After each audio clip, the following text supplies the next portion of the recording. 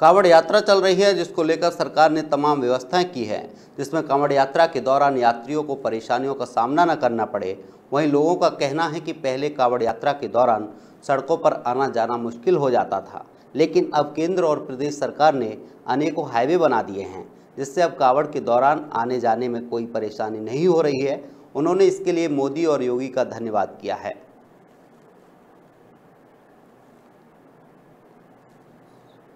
इसी प्रकार से जो बड़े वाहन हैं हमारा हाईवे बन जाने बाईपास बन जाने से और शहर की जितनी बसें थी रोडवेज़ प्राइवेट बसें जो चल रही थी वो हमने काशीराम कॉलोनी विकास आवास विकास कॉलोनी वहाँ से चुनहटी फाटक चुनहटी फाटक से सीधा हाईवे चढ़ें सीधा देहरादून जाना है देहरादून चले जाएँ हरिद्वार जाना है हरिद्वार की तरफ़ चले जाएँ जिसको करनाल जाना करनाल भी जा सकते हैं। बहुत सुविधा है बाईपास से।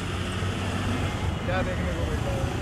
सही है, अपना रोड भी बढ़िया है, एकदम वीआईपी रोड है, अपने आराम से आओ, आराम से जाओ, कोई दिक्कत नहीं। बाईपास बनने से बहुत फ़र्क पड़ा है, बहुत सहूलियत मिली है। योगी और मोदी सरकार ने बहुत अच्छा काम करा है, और आगे भी हमें उम्मीद